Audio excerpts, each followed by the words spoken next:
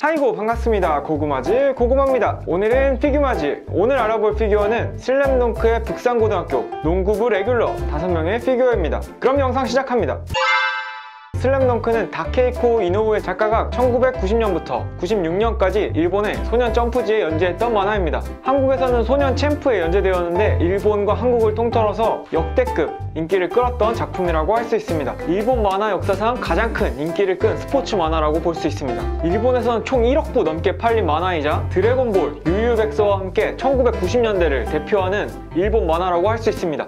지금까지도 꾸준히 읽히는 국민 만화의 반열에 올랐다고 볼 수 있습니다. 한국에서도 90년대부터 지금까지 굉장히 인기가 많은 만화로서 한국에서도 천만 부 이상 판매되는 높은 판매량을 보였습니다. 쇼호쿠 고등학교를 한국에서는 북산 고등학교로 번역했습니다. 북산 고등학교 농구부 5명을 한 명씩 차례대로 알아보도록 하겠습니다.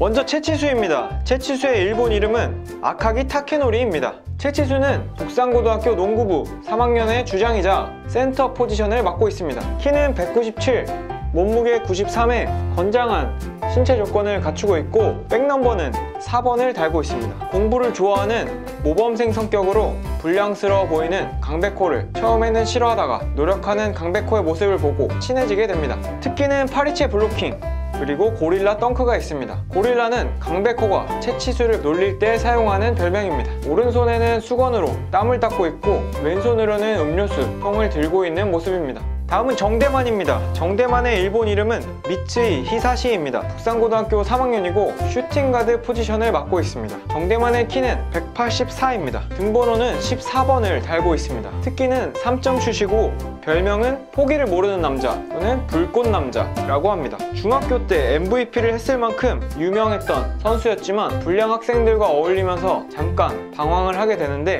안 선생님을 만나서 다시 농구부로 돌아오게 됩니다. 왼쪽 무릎에 보호대를 하고 있는데 이것은 정대만이 왼쪽 무릎에 부상이 있다는 설정입니다. 다음은 송태섭입니다. 송태섭의 일본 이름은 미야기 료타입니다. 북산고등학교 농구부 2학년에 포인트 가드를 맡고 있습니다. 송태섭의 백넘버는 7 번입니다. 키는 168, 몸무게 59의 단신 캐릭터입니다. 단신의 스피드를 살린 농구 스타일을 갖고 있고 특기는 속공입니다. 농구부 매니저인 한나 매니저를 좋아한다는 설정입니다. 도내 넘버원 가드를 꿈꾸는 북산의 포인트 가드라고 할 수 있습니다.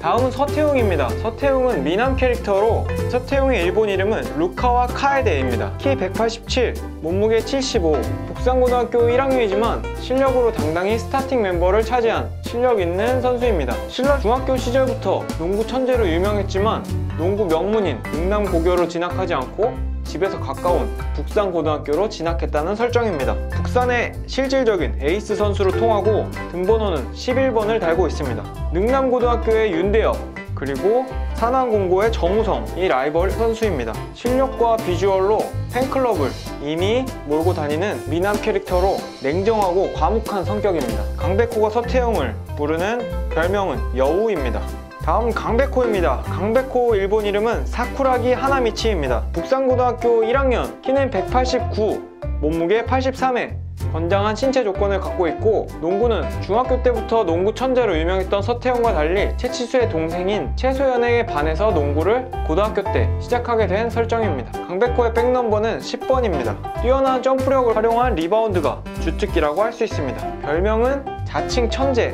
그리고 리바운드 왕, 빨간 원숭이 등이 있습니다. 주장인 채치수의 여동생인 채소연을 좋아하고 서태웅을 싫어합니다.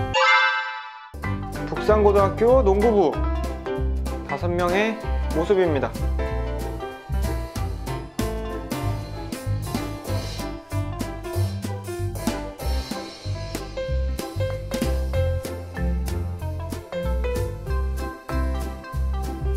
오늘 영상은 여기까지입니다.